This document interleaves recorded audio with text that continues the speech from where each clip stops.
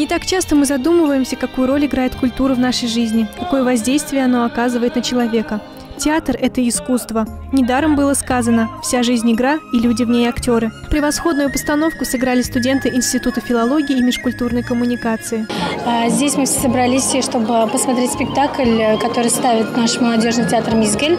Они ставят спектакли каждый год. А, в основном они выбирают эм, пьесы Туфана Минулина. В этом году они показывают спектакль «След за дикими лебедями»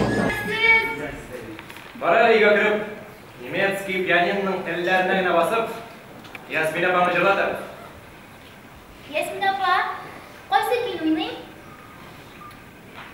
неге мына жырларға екен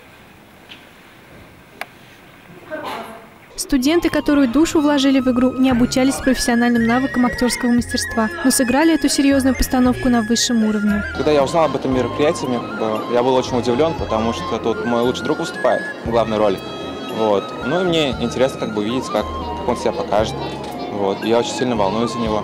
Зал заполнился студентами, родителями, приглашенными гостями. Радует, что на таких мероприятиях не остается пустых зрительских мест. Люди ценят и поддерживают театральное искусство. Адиля Валеева, Руслан Урманов, Univer News.